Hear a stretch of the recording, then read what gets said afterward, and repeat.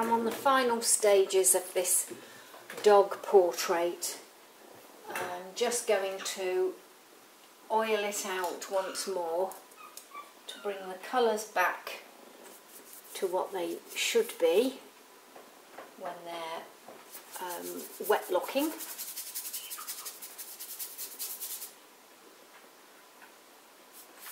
And then I think I'm going to glaze these these two corners at least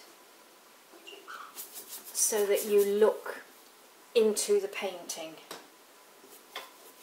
And really that's about it.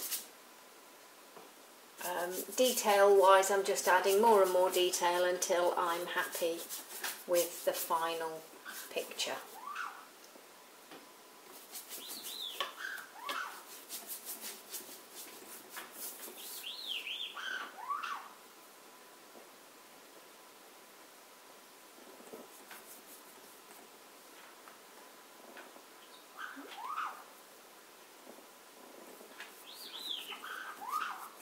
That's. I wanted something a bit darker. Darker up there. That's it. And darker there.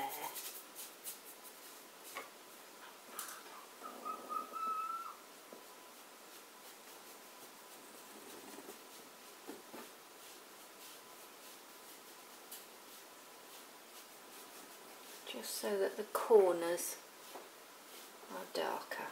That's better. This is vignetting. Vignetting the corners.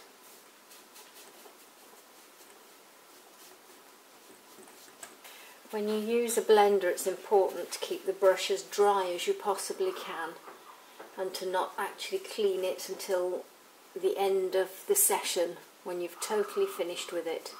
And just keep wiping it, wiping it into a tissue and then it blends nicely. This is a comber, it enables you to put lots of um, hairs onto your painting all at once instead of doing individual brush strokes. That's a bit thick.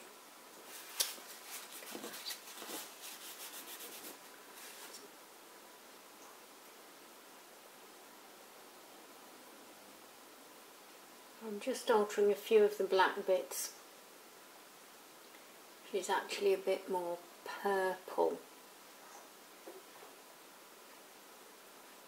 That will just add a slightly more interesting mm. dimension. And, and these really are the finishing touches. I think she's about finished.